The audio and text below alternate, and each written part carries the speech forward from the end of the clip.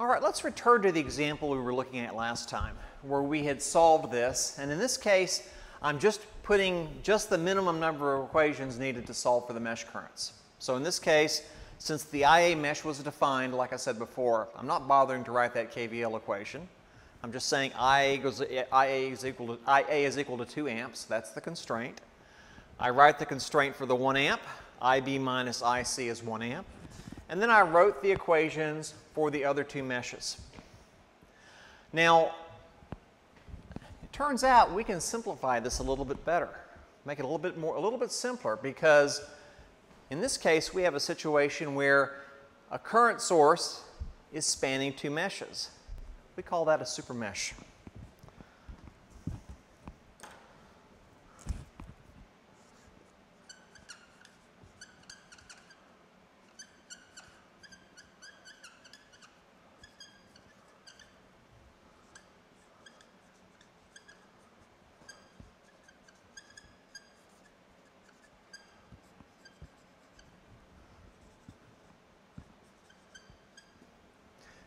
Why is a super mesh important? Because KVL holds for a super mesh.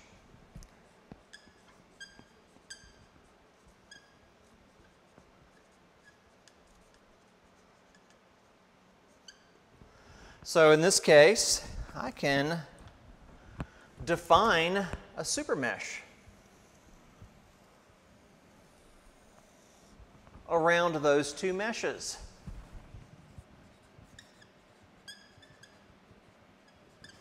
Or I'll just use SM. Let's write the KVL equation for that supermesh equation. So in this case,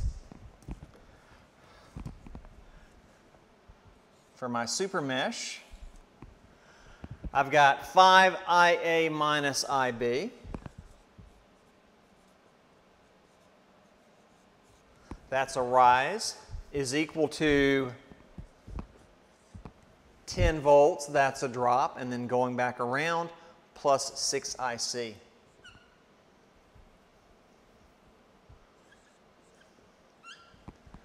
And that's a drop. So in this case, I've got a super mesh equation, and just as I had before, I can still write the same two constraint equations. So in this case, my constraint equations are that IA is equal to 2 amps and IB minus IC is equal to 1 amp. Three equations, three unknowns. I can now solve for the three mesh currents. What is the supermesh equation? Well, before when we looked at supernode, we saw that the supernode equation was nothing more than the linear, uh, basically the linear combination of two KCL equations.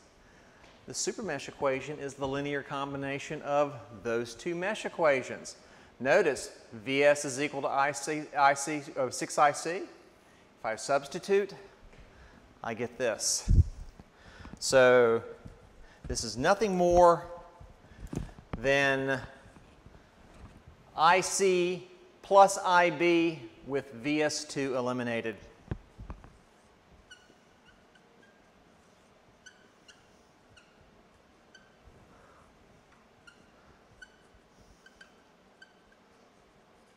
by substitution.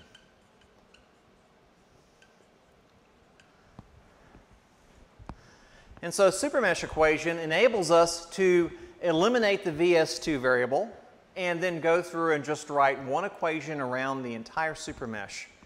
And lets us, in effect, make a slightly simpler problem by combining the two original mesh equations for IB and IC. Now, once again, to emphasize, don't be distracted or fooled or confused by a book, a textbook that tries to make it seem as if you must use a supermesh equation. You don't. You can always solve any mesh analysis problem by defining the voltage across each current source and then writing the KVL equations. Clearly, this super mesh does save me a little bit of work. It lets me eliminate the VS2, but if you're not comfortable writing and using a super mesh equation, Don't. I will never, just as with supernodes, I will never ask you to work a problem using super meshes. There's no need to do it if you don't want to do it. If you are comfortable using the super mesh, then by all means using it, use it. But if you don't feel comfortable, then don't. You can always just go through and do the technique just like this. So super mesh and super node together are both techniques and concepts where you are not required to use them, but you may find that uh, they will save you a little bit of time and effort as you become more skilled in nodal and mesh analysis. Now, one other thing I want to mention or point out, and this is worth doing. I had a resistor here that spanned these two meshes. And, you know, I always have students who ask, well, Dr. Holman, why did you pick this positive to negative? And I said, well, because the two currents were going in the opposite direction. And I'll always have students who will say, but Dr. Holman, what if it went the other way? That's a good question. What if I had chosen this way? Let's write the IB mesh equation with now the voltage drop in this direction, just to see what happens. So in this case, now that I've got the voltage drop defined like so, IB enters the correct direction, IA does not, so I've got to flip around and make this minus IA. So now I've got a voltage drop. So in this case, I've got for IB, I've got all voltage drops, so there are no rises. So 0 for any rise is equal to 5 times IB minus IA plus 10 plus VS2. Look at this equation versus that equation. They're the same. I take this term, put it on the other side, change the sign, I get that equation. So it is truly completely arbitrary how you select the voltage drop if the two currents disagree. You will not get a wrong answer as long as you correctly express the voltage drop through that resistor in terms of the difference between the two currents. So just always like to kind of throw this in to illustrate that truly this stuff is arbitrary. You're not constrained in any particular polarity.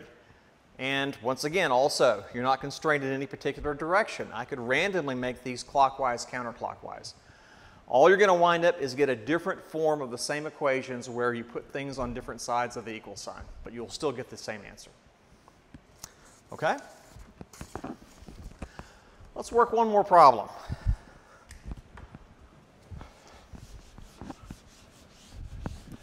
And in this case, let's do a problem that includes a dependent source.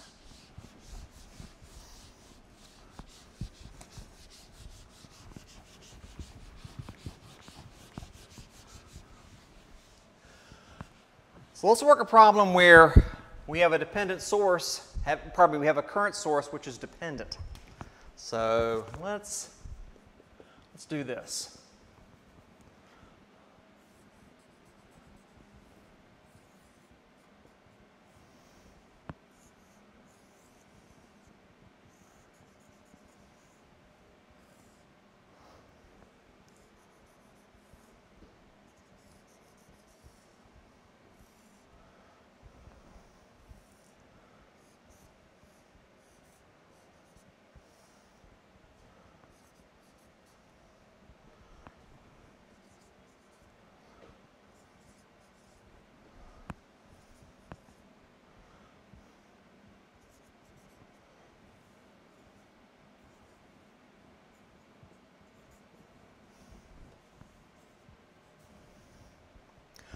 Okay, in this case, I've got a dependent voltage source, a voltage controlled current source, 2V1, where V1 is the voltage across that 5 ohm resistor.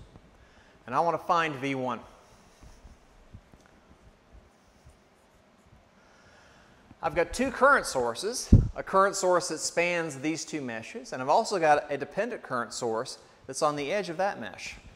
So let's go through and let's first define our mesh currents.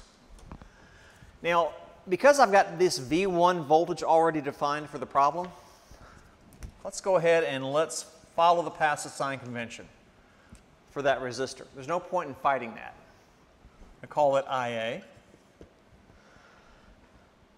Call this IB. Once again, arbitrarily chosen as clockwise. And IC. I'll choose that as clockwise as well. So in this case, we can now go through, define our voltage drops across all of our resistors. So for the, for the 5 volt, uh, 5 ohm resistor, V1's already chosen. For the 3 ohm, I'm going to follow IB. For the 8 ohm, I've got two currents going in opposite directions.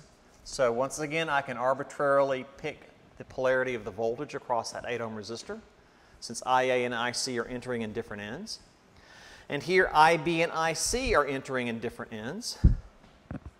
So once again, the voltage drop I pick across that 10 ohm resistor is totally arbitrary. All right? Now in addition, because I have two current sources, I better define voltages across those current sources. I'm going to call this Vs and I'm going to call the voltage across this current source VVCCS for the voltage controlled current source. Okay, I've now got all the elements I need. Let's go through and let's write the KVL plus Ohm's law equations we're going to need. Okay. For IA, in this case, going around the loop, I'm going to have 5IA, and that's a drop. And then I've got 6 volts, which is a rise. Going in around the loop, that's a drop. So this will be 5IA plus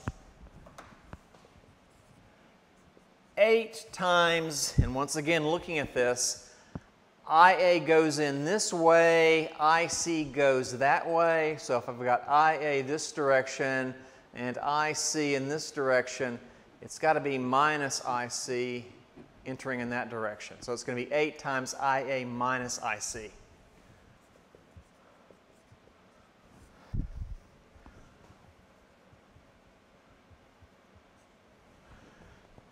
And then continuing around, I've got VS, which is a rise.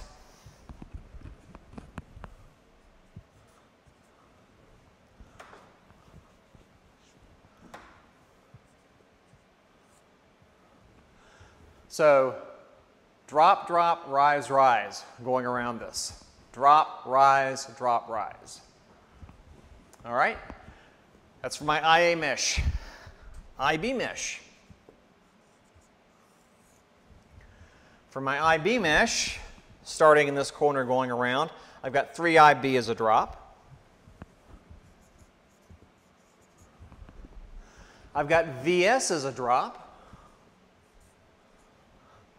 And then I've got the voltage across this resistor, that's a rise. So that's equal to 10 times, in this case, IC minus IB.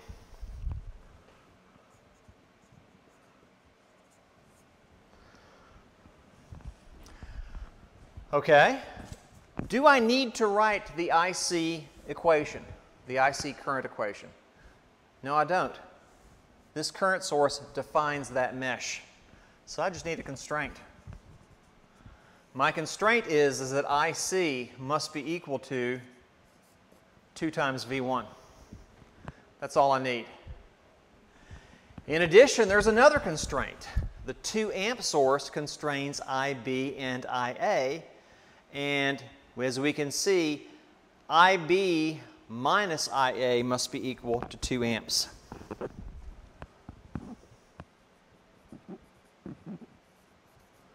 So here are my two constraints for my two current sources, and mesh IC is defined.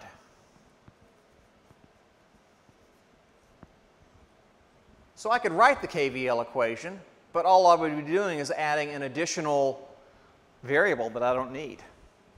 So in this case, I've now got one, two, three, four equations. I've got one, two, three currents plus Vs. So I've got four equations, four unknowns. I can now go and solve. And if I solve, actually, hold on, I'm still missing something. Pardon me. There are five unknowns. Excuse me. Because I've got V1. So I have IA, IB, IC. I've got VS and I've got V1. What did I just forget?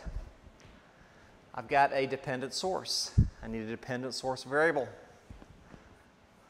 Almost forgot. So you see, you've always got to remember that. KVL plus constraints plus DSV. What's the dependent source variable? V1 is equal to 5IA. The dependent source variable must be written in terms of mesh currents.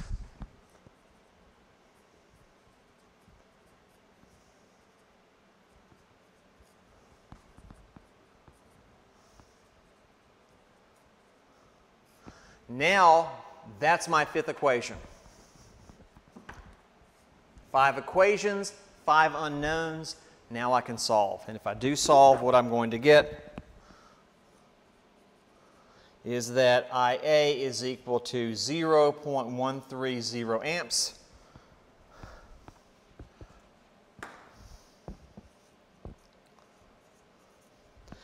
IB is equal to 2.13 amps.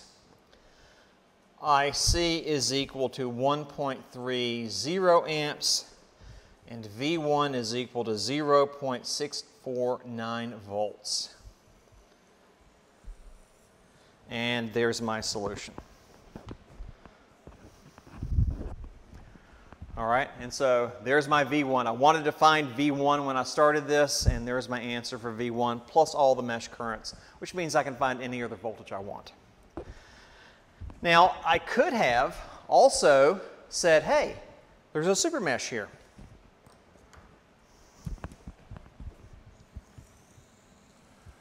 Clearly, that is a super mesh. So I could have written a super mesh which would have combined the IA and IB equations and eliminated VS. So if I wrote that super mesh, what would I get?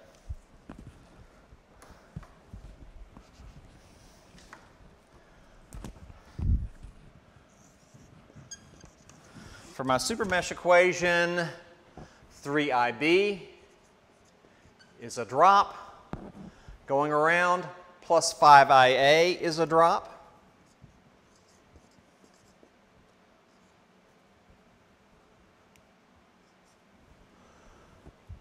Six volt is a rise.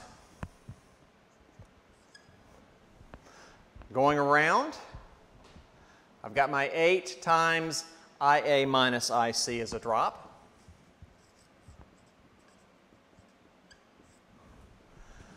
Going around, that's a rise across the 10 ohm resistor. And so that's going to be equal to 10 times IC minus IB.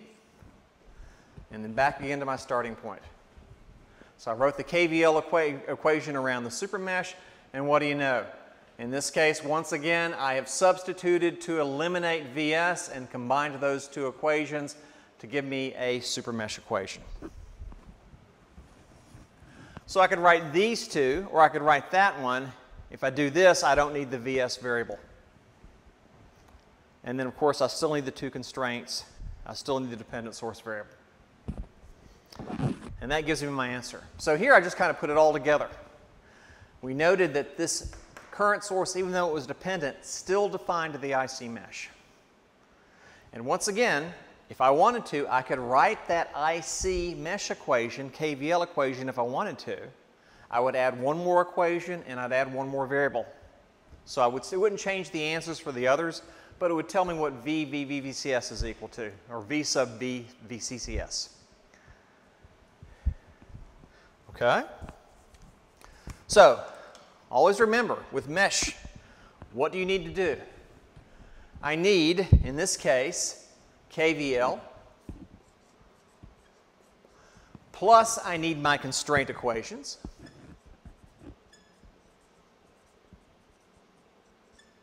Plus I need any dependent source variable equations. I'll add that together. That's my solution. So we notice the similarity between mesh and nodal analysis. I need a KVL or a KCL equation for each mesh or each node, then the constraints, then the dependent source variables. And if I write all of those equations correctly, then I will get a solution. I'll have a, a number of equations which is equal to the number of variables. Okay? So, this uh, completes our review of mesh analysis, which, as I said before, is very much of a mathematical dual to nodal analysis. Next time, we will look at how we can compare nodal versus mesh. If I just give you a random problem, which technique do you use? That's a really good question. How do you choose the proper technique, given the fact that just about any circuit we're going to have in the class this semester could be solved either way? Which do you choose, nodal versus mesh? Next time we'll look at that and see how you can figure that out.